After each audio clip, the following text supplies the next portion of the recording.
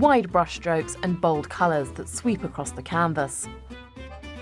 Bernard Frize's paintings almost feel as though if you reached out to touch them, you'd feel a delicate fabric rather than paint. At the same time, Frize's paintings are structured precise geometrical patterns, but somehow with more depth than simply a carefully repeated motif.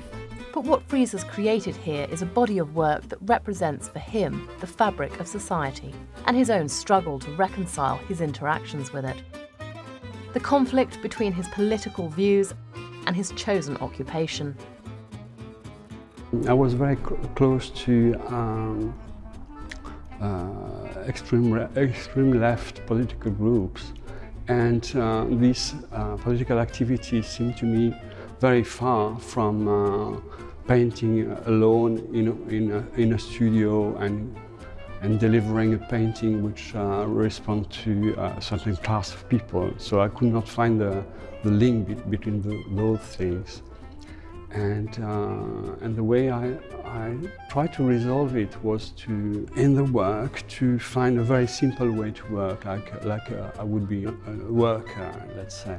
Like I would not be different from the other, not deliver a, a, a personal expression. He says his own feelings and emotions don't belong in his art. What matters for him is the act of painting. The emphasis is very much on the process and production of the work rather than the resulting visual elements like colour and composition.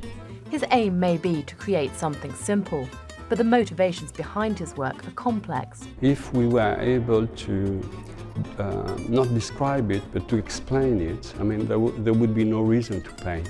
I, I don't want to say, oh, this means this, and that, that, you know, because painting is not working like this. Bernard Frize's work is like looking at fabric fibres under a microscope.